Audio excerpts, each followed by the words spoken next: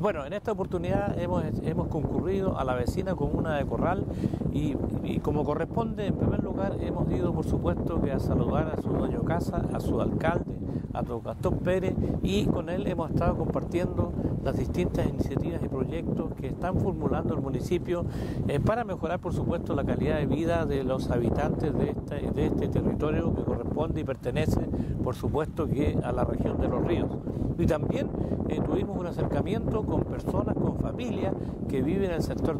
sector de la Guada, donde obviamente que ellos por un tema de conectividad eh, están muy preocupados. Ellos eh, para llegar desde, desde Corral mismo hacia el sector donde están viviendo, hasta el sector de la Guada, tienen que transitar por un camino que no es de los mejores. Por lo tanto, allí hay un proyecto que en este momento se está tratando o está en tratativa y en, en gestión con el gobierno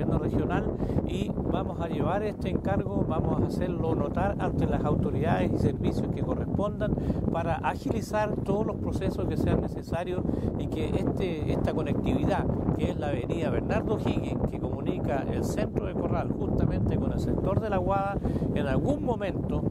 ojalá en el corto plazo, eh, lo, lo, asuman y realmente terminen esa iniciativa o ese proyecto y este, y este, este tramo que todavía falta y es una esperanza que tienen las vecinas y vecinos por tantos años, ojalá que